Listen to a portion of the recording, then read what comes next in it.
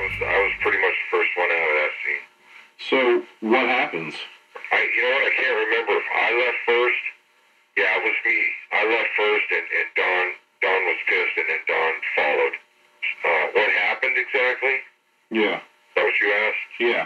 Um, uh, they got picked up. Okay, they were they were being looked at. We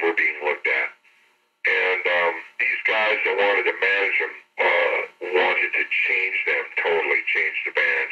Okay, and by that I mean they were they wanted to tone the band down really, really a lot. You know, they they wanted them to be very accessible, real commercial. And so what they did was um, the first guy to go was the drummer. The drummer was, you know, his set was huge, and he played over the his playing was over the top. You know, just uh, it didn't fit. I just me and my style didn't fit with what they had in mind for for Great White. So um, so they let me go. And then uh, I guess uh, Costa got pissed off after that. Didn't want to play with another. Well, they got this other drummer. He was a b- real puss. I mean, I should I should watch what I'm saying, but Is that Gary Holland? yeah, he was kind of a pussy drummer, man. Real real light on the sticks and just.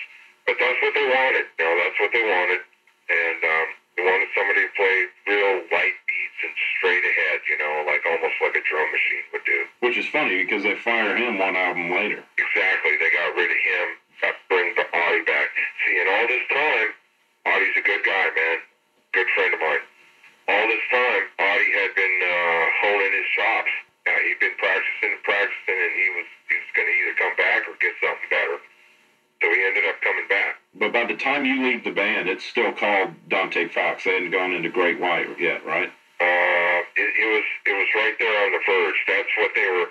That's what their manager was wanting to do was change the name, get rid of the drummer, tone down the music, and and all that stuff. They were they were they were wanting to get rid of Don too because he was he was crazy too. He was over the top. If you noticed, I mean, they even each record kind of got a little more commercial. I left right before and during, you know, right during the time that all the transaction was taking place. Yeah. I was the first thing to go, and and right away after that, they were making changes, name changes, uh, personnel changes, and uh, and helping them rewrite the music and, and toning everything down. So probably safely say there's not much of that that I played on had any part in writing on that first album. There could be, I just might not remember really. It's been a while, but I've even listened to it. You know what I mean? So you guys were even more aggressive than the first record when you were in the band? I think they they weren't happy. You know, I shouldn't say things. You know, I don't want to say too much, but I think they weren't really happy in the direction they were going after that, and uh, you know, they started putting more and more demands on them. I think, and because I had seen Jack